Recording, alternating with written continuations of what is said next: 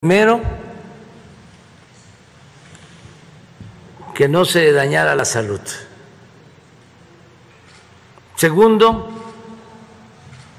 que la medida de regularizar el uso de la marihuana significara disminución de la violencia, o sea, estos factores. Tercero, el que dejáramos a salvo la libertad de los ciudadanos, que también eso es muy importante. Tenemos que tener libertad. Y cuarto, que no se permitiera el negocio.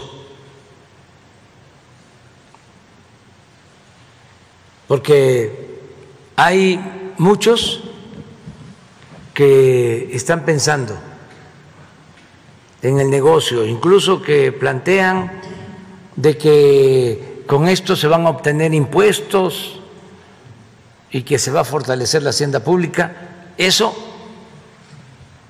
hasta me molesta, porque no se puede eh, traficar con la salud del pueblo.